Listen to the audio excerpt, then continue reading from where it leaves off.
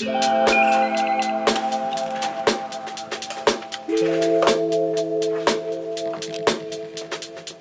เอ๋สวัสดีค่ะทุกคน ตอนนี้ก็กลับมาถึงบ้านเรียบร้อยแล้วนะคะสำหรับคลิปนี้นะคะ ก็จะมาถ่ายเป็น night routine ให้ดูกันนะคะ จะเป็นการรีวิวสกินแคร์ที่ใช้ในช่วงกลางคืนด้วยนะคะสำหรับคลิปนี้นะคะ อย่าลืมชมจนจบนะคะ แล้วก็สำหรับใครที่ยังไม่ได้กด subscribe นะคะ ฝากกด subscribe กันก่อนเลยนะคะ โอเคค่ะ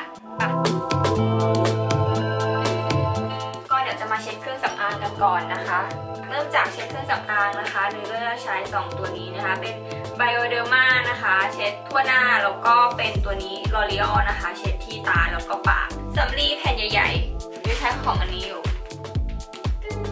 ที่เพิ่งลงไปได้ไม่นานมานี้นะคะ เป็นคลิป Morning Routine นะ แล้วก็พอลงคลิป Morning Routine ปุ๊บก็มีคนขอให้ทำคลิป Night Routine ด้วยสิคะ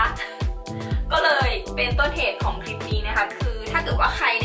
ได้ดูคลิป Morning Routine ช่วงนั้นนะคะ จะเห็นว่านุ้ยแบบมีสิวเยอะมาก มีรอยสิวมีสิวเยอะมาก ตอนนี้เนี่ยผ่านมาประมาณแบบ2อสามอาทิตย์ไม่ได้นานมากนะคะ แต่ว่าสิวเริ่มหายแล้ว ในตอนกลางคืนก็จะมีสกินแคร์ที่แปลกแตกต่างออกไปจากในตอนเช้าด้วยนะคะ เดี๋ยววันนี้เนี่ยจะโชว์ให้ดูด้วยว่าใช้อะไรทาสิวนะคะ ก่อนอื่นเช็ดเครื่องสำอางก่อน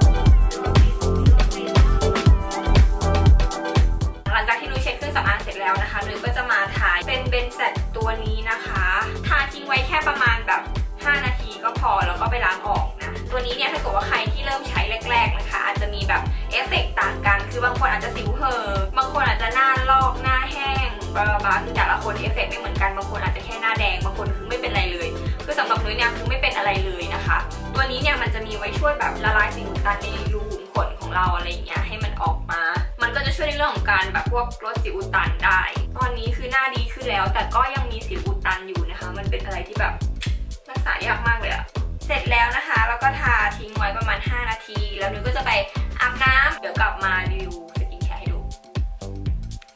ตอนนี้จะมามาสก์หน้านะคะ ก็จะใช้มาสก์เป็นตัวดรมอนตี้ตัวนี้นะคะ ตัวนี้เนี่ยเป็นมาสก์ออร์แกนิกนะคะ เป็นผงที่ต้องเอามาผสมน้ำแล้วก็มาสก์นะปกติอะนุ้ยไม่ได้ใช้ตัวนี้ทุกวันนะคะ แต่ว่าจะใช้แค่สัปดาห์ละประมาณ 1-2 ครั้ง คือไม่เกิน 2 ครั้ง 2 ช้อนชาหรือว่าถ้าไม่มีช้อนชาตอนนี้นะคะ ก็แค่ช้อนเดียวแบบนี้ก็คือพอแล้ว คือมาสก์ตัวนี้นะคะเขาจะเป็นมาสก์ออร์แกนิกร้อยเปอร์เซ็นต์เลยนะสำหรับคนที่แบบผิวแพ้ง่าย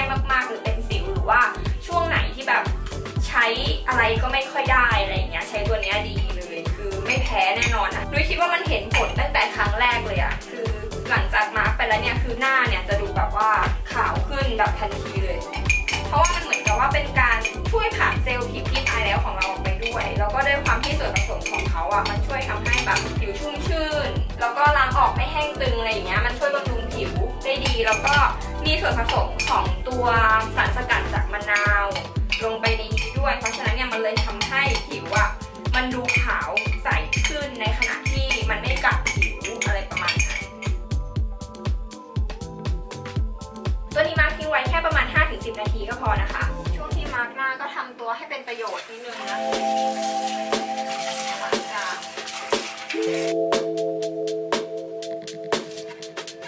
โอเคเสร็จแล้วตอนนี้ก็น่าจะ 5 นาทีแล้วแหละนะ พอแล้ว5นาทีพอ ตัวแรกที่ลงหลังจากล้างหน้าเสร็จนะคะ ก็จะเป็นโทนเนอร์นะคะโดยใช้เป็นตัว La Roche Posay ตัวนี้นะคะ ตัวนี้เนี่ยจะเป็นสำหรับคนที่หน้ามันนะแล้วก็เป็นสิวง่ายอะไรแบบนี้นะคะ ตอนนี้ก็เหลือน้อยมากแล้วฟังจากเสียงน่าจะเหลืออยู่แค่นี้ละ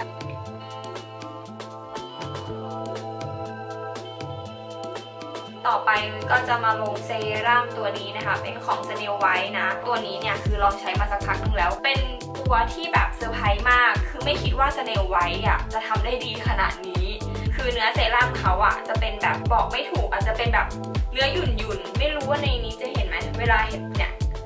เนื้อมันจะแบบหยุ่นหยุ่นหนึบหนึบนิดนึงเวลาใช้คือบีบใส่ฝ่ามือนะคะ แล้วก็แตะลงไปที่บนหน้า แล้วฟีลลิ่งหลังใช้คือแบบมันซึมเร็วมากตัวเนี้ย คือมันบอกไม่ถูกความรู้สึกหลังใช้คือมันแบบ เนื้อครีมมันซึมเร็วแล้ว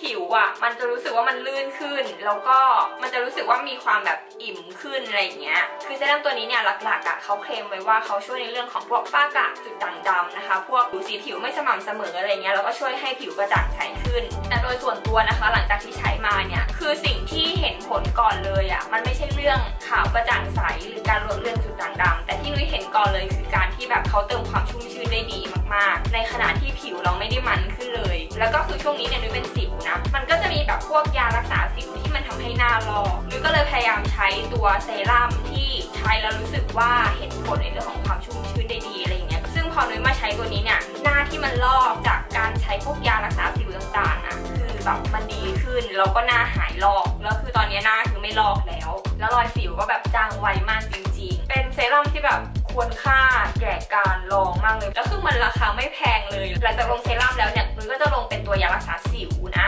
แล้วก็ยา